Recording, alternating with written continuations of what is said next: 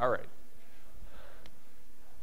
Again, I'll remind you that the, when, one week from today is the second midterm in class, 30 questions, multiple choice, usual thing. My, my best suggestion for, for preparing is take the old exams. Any questions about exam stuff? Yeah. Am, am I going to start with batteries? It probably will start somewhere in flashlights because I think that's, that's where we sort of finished for the last exam. Um, and this will, and it will go through radio, which I'll finish, and maybe into microwave ovens. Um, yeah, there is one more uh, problem set five was just due, really, and problem set six I'll put up later this afternoon. I'm finally ready to get it up there. All right, and it will be due on Wednesday. All right. Back to radio, which is where, where I, I left off, really on Wednesday, and then I spent, on Monday and Wednesday, I spent uh, looking back at things that I'd left behind. The idea of a radio wave, and you will see radio waves are the same concept as microwaves, the same concept as light. Uh, in fact, they're, they're, they go all the way into X-rays and gamma rays. They're all the same phenomena, differing only in, in, the, in, in, the, in the numbers, not in the concept. And so what a radio wave is, is a structure in space that consists of only two things, an electric field and a magnetic field. They're both necessary because each one creates the other. So they're a team. They, they, they sit there recreating each other, and in the absence of anything around them, they have to move. So they travel through empty space, which is, an, which is actually is, in, in itself is kind of a surprising thing. This is a wave that doesn't travel like on water or in air. It travels through space. It doesn't need anything there. It, it whizzes along very fast. In fact, in, the, in empty space, it travels at a special speed known as the speed of light, which is more special than just light. It's a special speed. It, it has to do with the whole nature of how the universe works. Um, it is the fastest speed there is, and light happens to travel at it. Um, nonetheless, it, it, carries the name light because the speed of light, because um, that's where it's most obviously present, that special speed. Anyhow, part of today is to talk about how those two fields manage to recreate each other and how you launch one of these things. How do you get one of these waves going? Um, you know, with sound waves, you know, I can do that. I can send this ripple across through the, through the air. Uh, on, a, on the surface of water, you smack the water, you, you send it How do you get one of these electromagnetic ripples to, to, to travel out through space? And the other thing is, how do you receive it? And to put radio into a concept that, uh, into a context that's more than just abstract, radio is used to transmit information. Uh, way back, you know, in 50, 50 years ago, the only information that was, that was transmitted routinely by radio was sound. Um, actually, that's not even true. Television also. But uh, now it transmits everything. So I mean, you're all potentially get lost, lo you're lost right now playing with radio wave information coming to and from you with radio waves. So basically, the idea is something else I have to convey to you is, is an understanding of, of how information is transferred by way of a radio wave. All right, so that's the, that's the plan here. Um, this, this slide just, just pointing out the idea that the electric and magnetic fields can, can recreate each other. In order for that to happen, we have to sort of finish talking about the relationship between electric and magnetic fields we started off, so this is the last time I think I, will present this slide. I got now on to version three of this slide. Way back, maybe even before version zero would have been that the magnetic fields are produced simply by magnetic poles or subatomic particles that have magnetic poles. And electric fields are produced by charges or subatomic particles that have charge. That was the early story, the original story. The world of electricity is all by itself, charges. The world of magnetism is all by itself, poles. End of story. Well, that isn't the end of the story. Uh, we started seeing things like, well, you can make magnetic fields another way. You don't need a pole around to make a magnetic field. Just move charge. So moving charge is magnetic.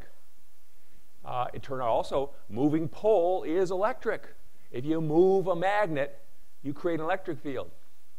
And the last, the last so, that, so, so I've, I've just talked about you know, this, this fir the first line in each of these two sort of paragraphs.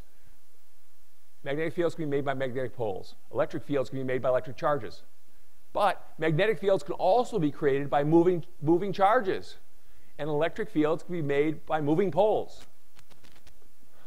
How about the last pair of lines?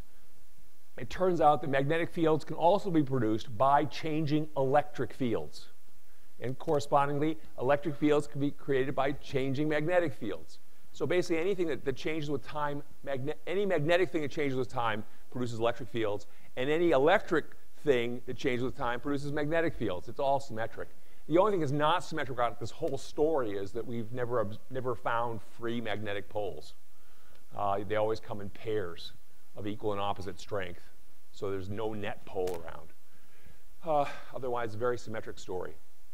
Um, any questions about this, these ideas at this point? Well, the key observation for the purposes of dealing with, uh, with an electromagnetic wave is you can make a magnetic field by having a changing electric field. And you can create an electric field by having a changing magnetic field. The, the wherewithal for this, this teamwork to exist is up there on that, on that slide. Electric, a changing electric field can create a magnetic field, a changing magnetic field can create an electric field. If you have them both changing properly, they'll create each other and recreate each other, and off they go. Um, another thing that I should make sure that I've, I've conveyed to you is the idea that electric fields and separately magnetic fields both contain energy. It takes energy to create a magnetic field. It takes energy to create an electric field. Um, a, a, a, charge, like an electron has a negative charge, it, it has energy in its, in its electric field. Uh, it can't release that energy because the only way it can release that energy is to, is to disappear, and that would violate the conservation of charge. But all electric fields do have energy in them. All right. So, having said that, I can say, you know, the, the, the idea that a, that, that a self-perpetuating structure can exist is follows out sort of uh, intuitively. If, if, they can make each other, well, uh, that's fine. You, if you get them started, they can keep making each other, and off they go. What does the thing that they make look like? And here, I'm going to try a couple different ways of conveying it. Uh, the first, there's, there's, a, there's a static picture up there on the screen of what an electromagnetic wave looks like. Let me just flesh it out, not on the screen, but I'll, but I'll walk through it here in, in pretend land. I'll just, I'll, I'll animate it with my hands. If you, I'm going to start off by stopping time. We're going to have an electromagnetic wave that will, when I let time go on, head off to your right. And at this moment in time, it's a flash photograph of the whole thing, and I'm going to be able to walk around it. We're going to follow the wave, the electromagnetic wave, along a single line of its path. It's, we're only paying attention to this line right here. We're not going to go up and down, not toward you away from you. Nothing's moving up or down. Nothing's moving toward you away from you. The only thing that's going to be happening is fields will be pointing in various directions along this line. All right? Electric and magnetic fields. And at this moment in time, we look along our little, our little, our line, and right along here, oh, there's an electric field here, and it's all pointing up. And, it, and over here, it's kind of weak, and now it's getting stronger, more upward, more upward, less and less and less, and then it's weak again.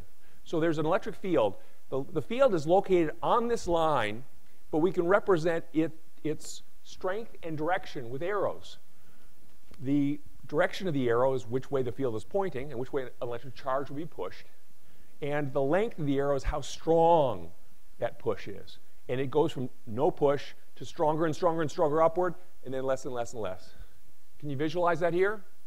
It's the same now. If I, if I point up, it's, it, I just walked you through this, this part of, of this, this picture. This is, a again, another flash photograph along this line, and there's the electric field it's weak at the beginning or nothing. It gets stronger and stronger upward. But those arrows don't mean anything's going upward. It's just pointing upward. Big difference between going somewhere and pointing somewhere. All the action is still along a horizontal line.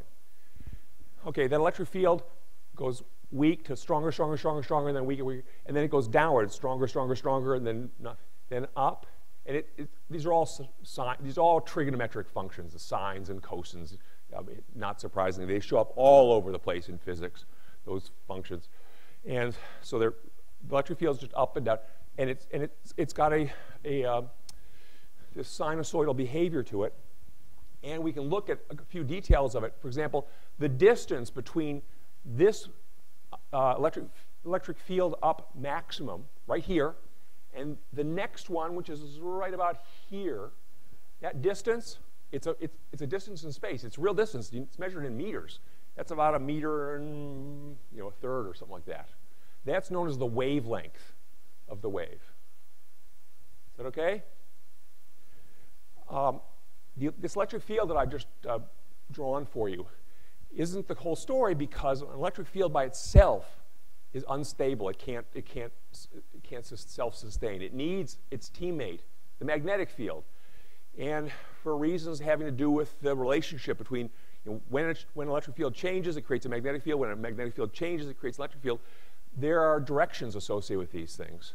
And the directions are detailed by the, a set of famous equations known as Maxwell's equations. Um, yeah, they, they end up, you may have seen them on somebody's t-shirt. I mean, the physicists like to wear these things like, wow, I'm cool, I've got Maxwell's equations on my t-shirt. Doesn't matter. It's, the relationships exist. With some mathematical training, you can figure out the relationship between the directions and stuff. The point at the moment is that the magnetic field associated with this, with this pair that are an electromagnetic wave is horizontal toward you and away from you. If that's the direction of propagation, which, is, which I've told you it is, to the, toward the right, it turns out the electric field is at right angles to that direction, namely up and down, and the magnetic field is at right angles to the, the, both of those.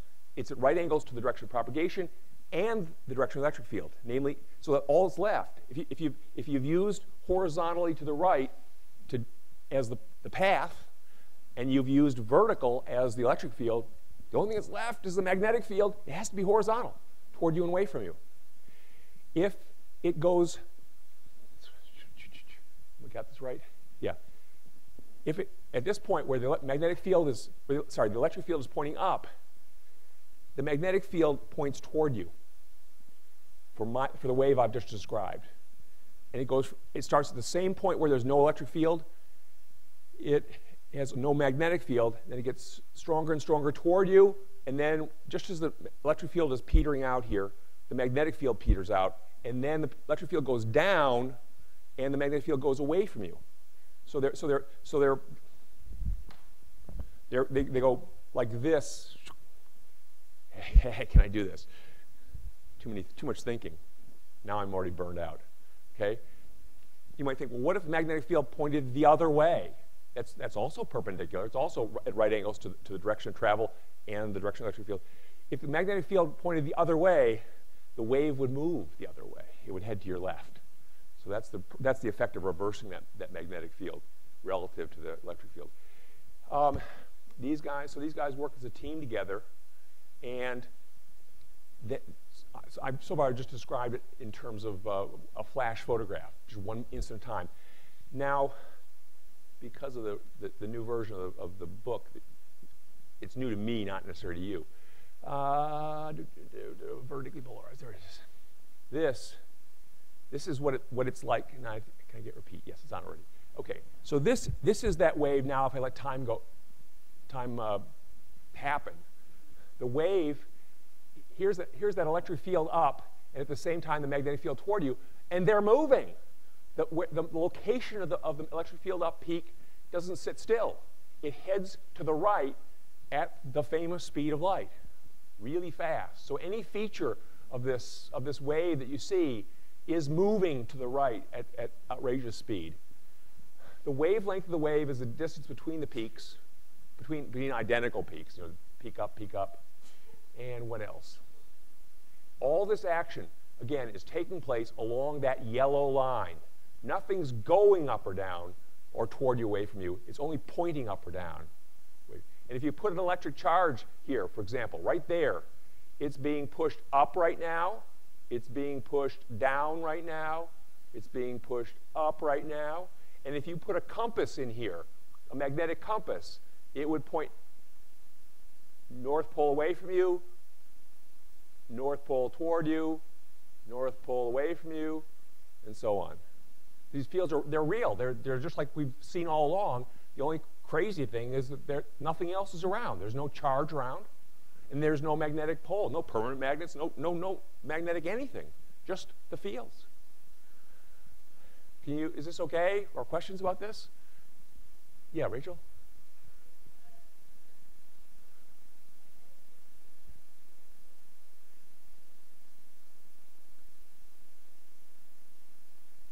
Yeah. So the question is, if the electric field creates the magnetic field, and the magnetic field creates electric field, you know, it's a chicken or egg problem. Like, who created what to begin with? Well, these didn't appear by accident. They were launched. So there, there is a starting point. And at the starting point, now I'll come back. The starting point, I can give you a, a, a brief piece of it. The starting point, there's probably an electric charge. An electric charge just sitting still is boring. It creates an electric field and nothing else. Okay? That's not going to make an electromagnetic wave. If I have an uh, electric charge that's moving at a steady pace, constant velocity, it's not only electric now, it's also magnetic. It's a current. It's a weird current. You know, it's moving charge, and moving charge is magnetic. So it, it will create, oh, you know, here, it will create a magnetic field. The magnetic field has a weird direction. It's a loop around this moving charge. But nothing's changing about that magnetic field. And so the electric field is, it's a little messy because because it's, it's one charge has, you can watch it go by. It's a little, there's, there's some, com some complications of things are changing. But basically, it does not launch a wave. Uh, where you get a wave is when you take the charge and don't just hold it still, and don't just let it move at constant velocity make it accelerate. And the best example of acceleration is this. If I take it up and down and up and down, it is, first off, you've got an electric field that's, that's jiggling around. And it's going from electric field up here to electric field down to up to down to up. Right? Electric field always points away from a positive charge. So that's a, that's a fluctuating electric field that's sort of got a sine, sinusoidal character to it, right? Ooh, that's interesting. And at the same time, the moving charge, it's a current heading down, which makes an electromagnetic field this way, and then it's a then it's charge moving up, which makes a magnetic field pointing the other way, and down and up. The magnetic field is also flipping back and forth, kind of sinusoidally. You've got both of them. And a piece of the, uh, not all of these, the electric field and all the magnetic field heads off across space, but part of it does part of it becomes this team that, that is self-perpetuating, uh, and off it goes. Is that okay? And I'll show you in a little while how an antenna works, because an antenna uses not one charge, but a whole lot of charge. It just sloshes a whole bunch of charge up and down, and in doing that, it creates the electric field that fluctuates, and it creates the magnetic field that fluctuates, and the two of them become a team, and off they go. Okay? So the chicken or egg is finally, you know, there, there is, there is a, there's a launcher. There's also a receiver. Uh, when one of these guys goes, one of, one of these electromagnetic waves travels past a charge, it jiggles the charge up and down. And that charge um, acquires energy from the jiggling motion. You, it, you can receive the, the, the, passing electromagnetic wave and do something with it, and, and with its energy. Other questions? All right. Um, this, this wave that I've just, just uh, described for you is known as a vertically polarized electromagnetic wave. In reality, there are many different kinds of variations on, on these waves. They always involve magnetic fields and electric fields that are right angles to each other and at right angles to the direction they travel. But you can play around with a lot of the details. And this wave is known as vertical because its electric field is vertical. The electric field is given precedence over the magnetic field because it's easier to, to to sort of get the attention of the electric world because electric charges are so common. You can jiggle an electric charge around and, and launch, the, launch the wave.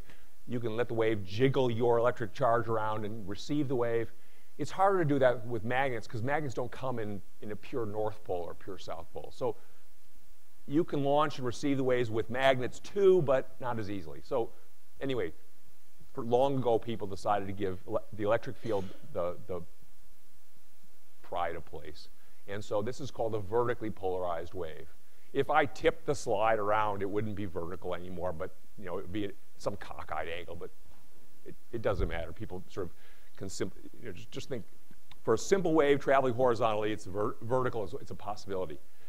The other possibility is just to take this wave and rotate it 90 degrees about that, that yellow traveling line, and then it becomes horizontally polarized. This wave has an electric field and a magnetic field just as before, but now the electric field is horizontal and the, and the magnetic field is vertical. It's just called a horizontally polarized wave. And in many cases, you, well, you know, how would you notice the difference?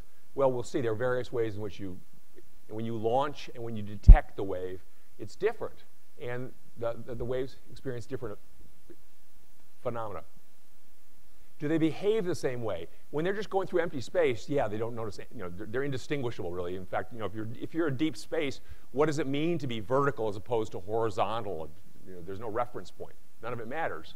Where it will matter is, for example, if you're trying to launch one of these waves, if you want to launch a vertically polarized wave, you do it by taking the positive charge and going up and down vertically.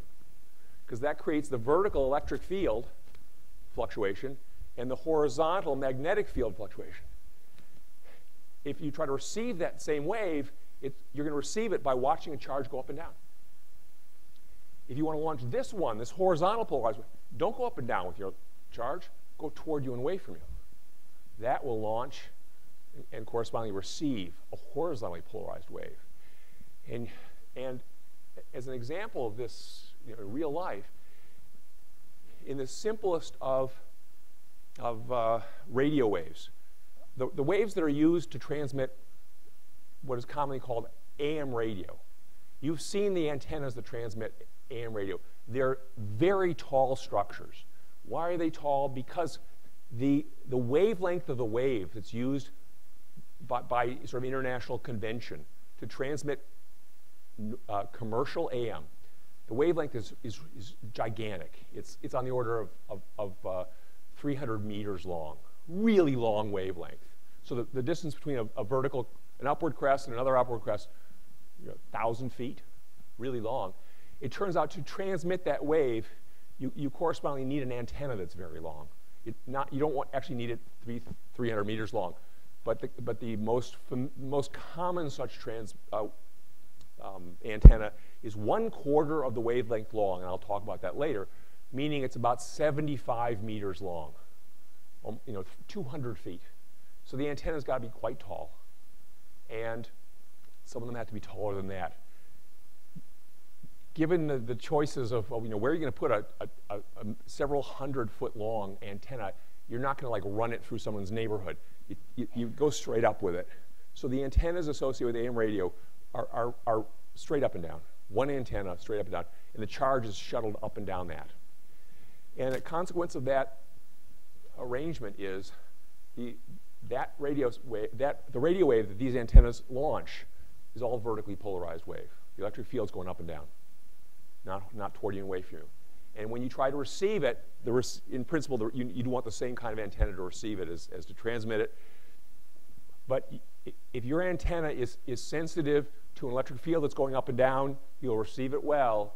If you rotate your antenna the wrong way, um, so that it's not sensitive, so it's sensitive to, to, toward you and away from you, uh, electric fields, you won't receive it. And so this is, you know, where does this show up? You, you guys are used to the cell phones, which are almost oblivious to which way you're holding them because they work really hard to make it that way. But in the, in the days when you used to have antennas, obvious antennas associated with cell phones and stuff like that, you had to be careful how you oriented it because you are trying to receive waves that have that the electric field is pointing somewhere. And if, you're if, you, if, if the electric field is trying to push charge back and forth across your antenna, you don't get anything because the charge can't move across it. This thing, which, which, i don't use these days, you know, that, that little antenna, charge is going up and down that guy when it's working. And the, tr the, the, transmission and receiving, if you hold the, the, the gadget that interacts with this, so its antenna is exactly at right angles to that, they won't talk. Because this thing will be pushing charge up and down and up and down and launching waves with electric fields going up and down, up and down. And if you put your antenna at right angles to that, those, those electric fields up and down will try to push charge across your antenna, which does nothing. There's a wire, there's actually a wire inside this. No, no, no action, no joy. So um, I think you, you guys still find occasions when how you hold your cell phone matters. Certainly where, you where you carry your cell phone matters. Uh, but the engineers have done everything they can to make you as, as unsensitive to this effect as possible. All right? So, that said, okay, so, so uh, AM radio goes out not, not with this kind of wave. Classic AM radio is all, is all this vertical polarized stuff. And that, that you do have to be careful about how you receive it. You know, the, there's the vertical. All right? Um, just to sort of complete the story, you know, what do waves look like when they have when they have different wavelengths? Here, the, these are three different waves with three different wavelengths, and it's sort of it should be you know, I, for complicated reasons they're packed pretty tightly. I was trying to get them on the same screen. Um, the, the wave at the top has the shortest wavelength. The wave in the middle has the longest wavelength, and the one on the bottom is somewhere in between. Uh, as a related item, if you, if you just sit somewhere and watch the wave go by, so let's just sit right here. Here goes a, a down crest, up crest, down crest, up crest. The number of cycles that go by you every second. Here, here, here comes an up crest. I'll wait for next. Here comes another up crest. Down, up, there, there, periodically a, a crest goes by. And if you count how many go by per second, that's how many cycles how many of the wave go by each second, that's, that's a quantity known as frequency. And measure the, the, the, the classic unit of, of frequency is cycles per second, also known as hertz. So if, if one million of those cycles go by per second, then the, then the radio wave has a frequency of one million cycles per second or one million hertz. And the classic AM radio stations that, that you might or might not listen to anymore are in that range. Um, one that I know in town, WINA, is 1070. It's, it's 1,070,000 cycles per second. So if you just sit still and watch the crests go by and count them for a second, you'll see 1,070,000 uh, 70, go by. It's, it's okay? Uh, the FM radio stations are, have, been, have been assigned uh, a much higher frequency. They go by about 100 million cycles go by per second, so much faster. As the frequency goes up, so this is, this is, the, this is the, the fastest cycling here occurs for this top wave, which also has the shortest wavelength. They're, the crests are closer together. They're all moving at the same speed. So if the crests are closer together, more of them pass you every second. This long wave in the middle, it's got a long wavelength the crests go by much more, much more, much less often. The frequency is much lower. So it's got a long wavelength, and the number of cycles per second that go by are small. They go together. So they go together. The shorter the wavelength, the, the higher the frequency. And actually, if you multiply the frequency times the wavelength, you get the speed of light. And it's not a coincidence. Okay? You all right with the idea, the, the general structure of an electromagnetic wave? The idea behind it is this, this perpetual recreation of, of the two fields recreating each other. Okay.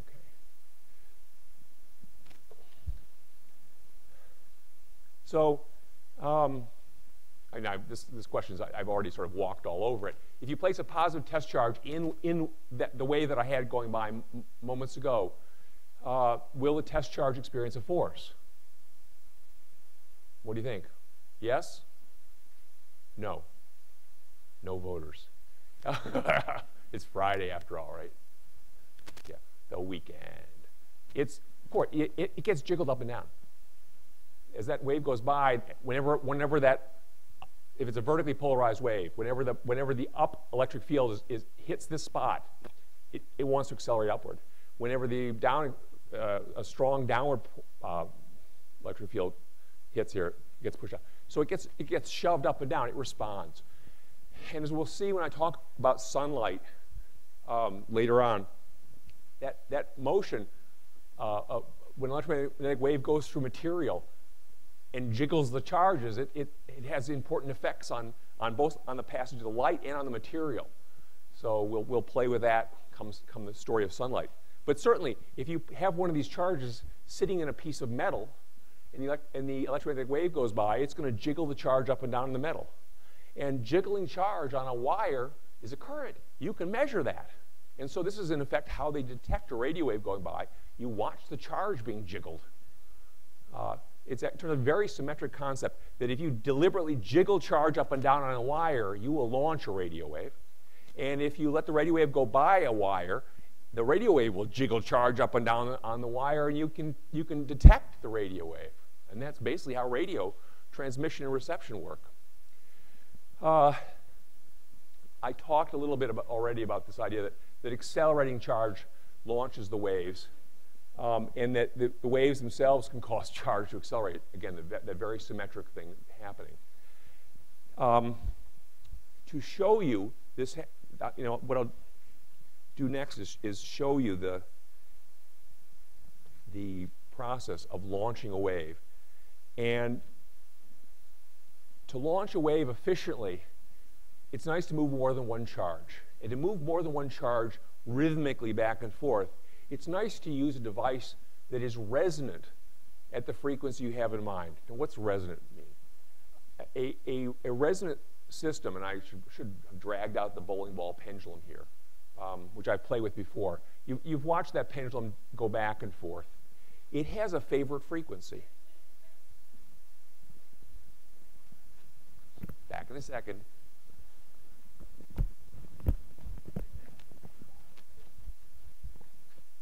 Still here.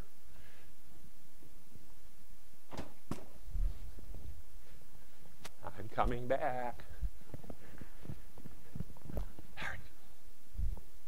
So, boiling water.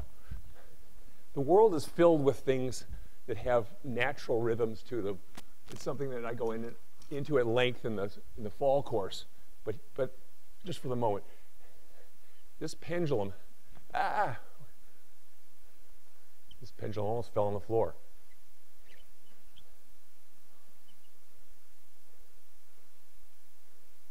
Come on, go in there. All right. Okay.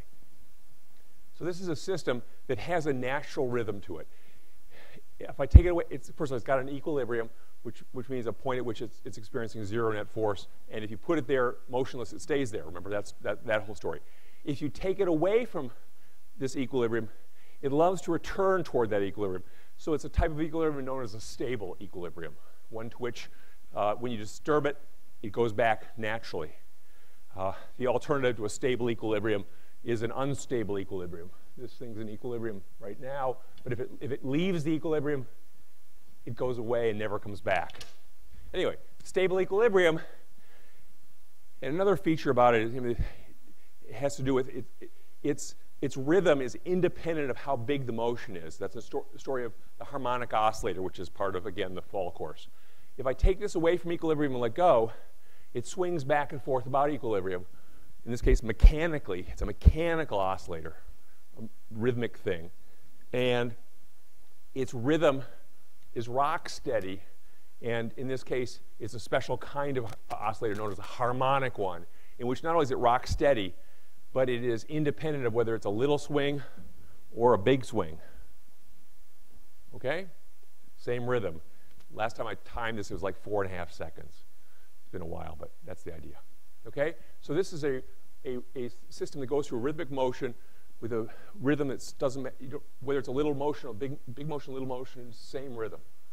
That's all mechanical. It turns out you can make exactly the same concept happen electrically. You can make an electric harmonic oscillator. And an electric harmonic oscillator looks like the gadget on the right. There are five images of the same gadget, and I'll show you it as an animation shortly. But, I, but I'll, I'll start with it motionless here. It consists of only two electric components that I've already talked about last time or the time before. On the right side is a component known as a capacitor. We've seen the capacitors from time to time. I charged one up early in the semester and made a big spark with it. it it's a device that stores separated electric charge. Two surfaces, you put positive charge on one, negative charge on the other, and there's lots of energy stored in the, in the uh, uh, electric field. Uh, the electric forces between the charges are, are equivalently in the electric field between the charges. You're storing lots of energy. Okay? The more charge you have on the, uh, in, in, the more separated charge you have, the more energy is packed into that capacitor. The other component in this device is just a coil of wire, which is an electromagnet more, uh, as an electric component, it's known as an inductor. And it's a device that stores energy in a magnetic field. And it uses that energy stored in the magnetic field to try to keep current in the coil from changing. It fights changes in current. Remember the big electromagnet? When I turn it on, it, the current increases slowly as the magnetic field builds off. When I turn it off, the current decreases slowly as the magnetic field builds down and that caused a big spark to occur in the, in the switch. It's very hard to stop the current flow because once you get it started, it likes to continue, and it doesn't want to stop.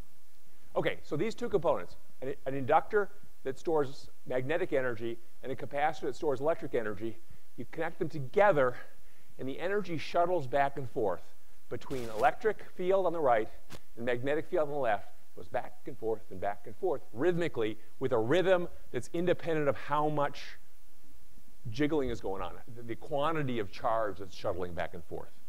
And so now let me show you this as, a, an animation. This, yeah, I, this is the old way I would do it as a, um, as a series of pictures, but I can show you an animation instead. And let me start with it, just let, I'll just let her rip. So here on the left is the capacitor, and here on the right is the inductor. And the, the, the general thing to observe is there's a moment at which the charge stored charge reaches its maximum, and with it, the, the magnetic, the electric field, we're at minimum now, maximum, minimum electric field power uh, energy, maximum electric field energy, and minimum, maximum. And as it goes through these minimums and maximums, the charge on the capacitor reverses. Now it's electric, it's a negative charge on the top plate.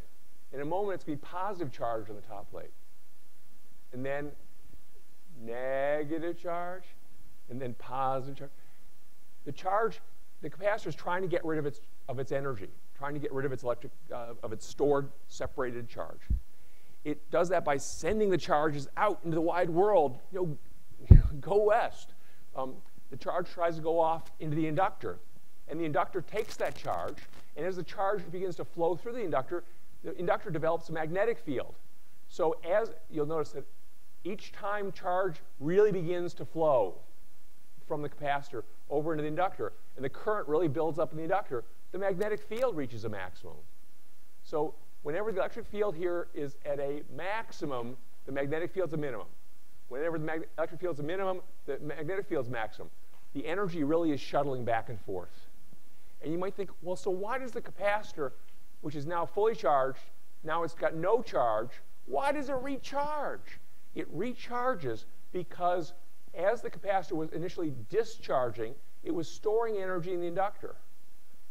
Well, the inductor doesn't like sudden changes in current. And so when, when the capacitor runs out of stored energy and tries to stop the current flow, the inductor says, no, I don't like changes in, in current. I'll keep the current going. And the current continues long enough to recharge the capacitor upside down.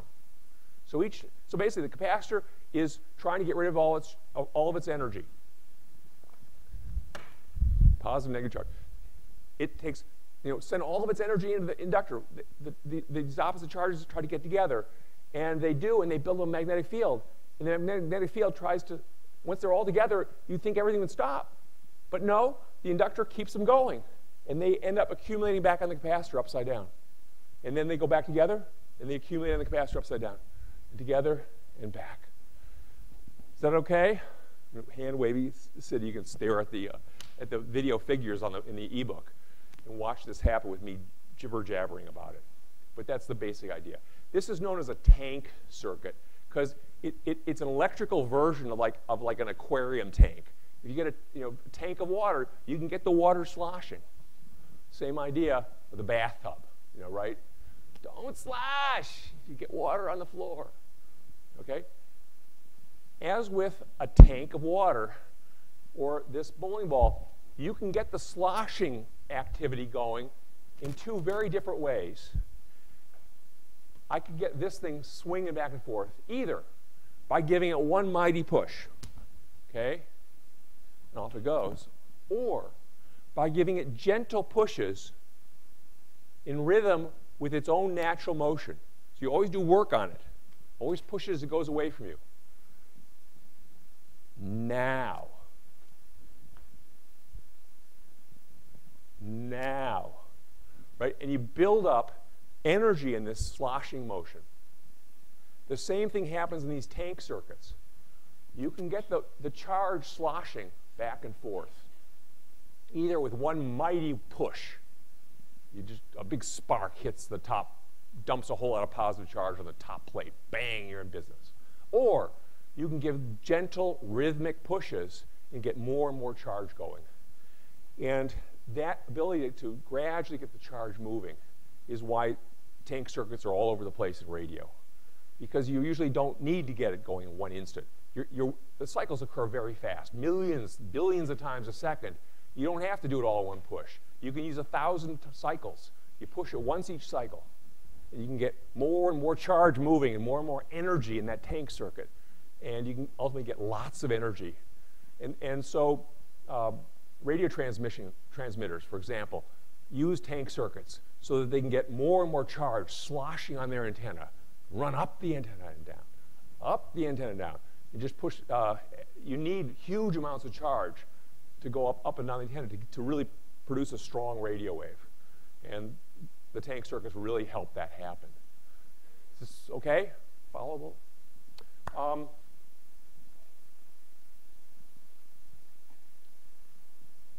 before I let the whole day go by, make make uh, Al set these radio, radio systems up again. Let me turn off this guy. Yeah, you want to get that off.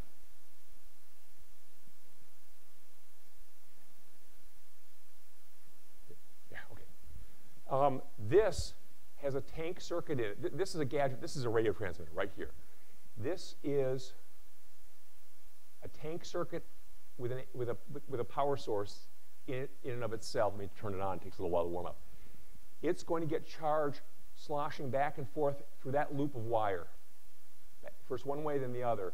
And how fast VHF? It's probably 100 million times a second, give or take. In fact, I, I could figure it out if I, the, from the wave, from the lengths of stuff here. So the charge is going back and forth and back and forth, and it, and it builds that charge up gradually. As the charge goes back and forth in that loop of wire, it develops a magnetic field that, turn, that goes first around this horizontal part of the loop one way and then goes around the other way, back and forth. And this just this is just a piece of wire, vertical piece of wire. That magnetic field that's, that's reversing back and forth, back and forth, and back and forth is affecting that wire. It's a changing magnetic field in that wire, which is causing charge to be pushed, an electric field up and down, up and down. So this is, this is now has charge going up and down it. You can't see the charge, but it's there. And I can, ah, I can show you a picture what, what the charge looks like as it's doing this. And you'll notice over here there's a light bulb. There's no power source for that light bulb. That light bulb is glowing because this thing is transmitting a pretty strong electromagnetic wave, you know, enough that I don't want to stand here all day. It's, as the charge goes up and down on this, and the magnetic field goes around and back and forth. It's, it's sending out a wave, and the light bulbs, you, you can see it lit. Is that, is that visible from? Okay. You know, it's still out here. It's getting dimmer. The field gets weak. The, the electromagnetic wave gets weaker for many reasons, but part of it is just, just the, as, the, as the wave spreads out in uh, two, two dimensions, it loses its intensity. But it's, you know, it's still, you notice it here as a glowing light bulb filament. Uh, as, I, as we talked about The, this wave has an electric field that's, that's pointing up and down and up and down, a magnetic field that's going horizontally back and forth. To receive it, we want a vertical antenna. If I rotate the antenna 90 degrees, the light bulb goes out. You see light, light bulbs out? This is the wrong direction. The electric, the vertical electric field is trying to push charge across the antenna. That's no good. You need a vertical an antenna. Okay? Um, to show you, I'll turn this back off and stop cooking myself. Um, what I wanted to show you is it, uh, that, that kind of antenna is known as a, this guy here is known as a half-wave antenna. It's, it is itself a resonant device. It's essentially a tank circuit. It's the same as the, the tank circuit had a capacitor and an inductor. What if you grab the capacitor, you grab the two plates of the capacitor, and that coil of inductor, and you just pull them straight. The coil just straight, it's a straight stick. You shrink the plates until they're just, just stick thin. It's still got a capacitor, the top and bottom, and it's still got an inductor, the, the shaft between the top and bottom. So this piece of copper you're seeing on the, on the animation, it's still a tank circuit.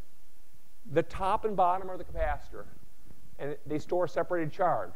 The top, will, in a moment, will have lots of positive, there's lots of negative on the bottom. That's the capacitor charged. The middle is the inductor. It's got a current flowing through it, and whenever the current's strong, the magnetic field is strong. So oddly enough, it's, it's still an inductor. And it's still resonant at a special frequency. And the frequency is related, and I'll, I'm, not, I'm clearly not going to get to it. The frequency of, of, it, of this sloshing motion is related to the length of the antenna. And this one is chosen to work very nicely at this particular radio wave frequency. So that's what's known as a half-wave antenna. It's physically half the wavelength long of the wave it transmits. And you can see whenever the, there's lots of positive charge at the top, there's a strong downward uh, electric field, like right now. Lots of positive charge on top, the electric field points down towards the negative charge.